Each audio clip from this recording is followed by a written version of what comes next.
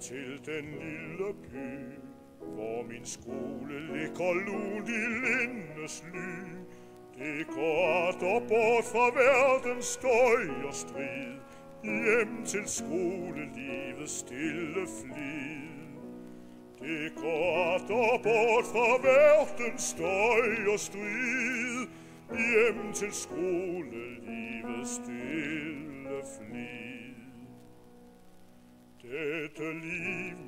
Al sin byrde og besvær, er min lykke, jeg min skole har så kær.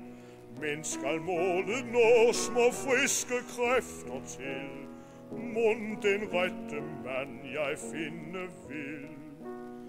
Men skal målet nå små friske kræfter til, mund den rette mand jeg finde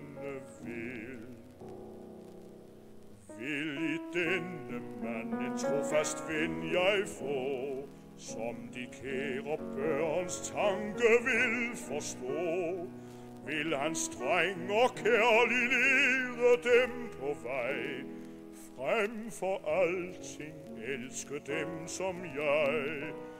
Vil han streng og kærlig lede dem på vej, frem for alting elske dem som jeg.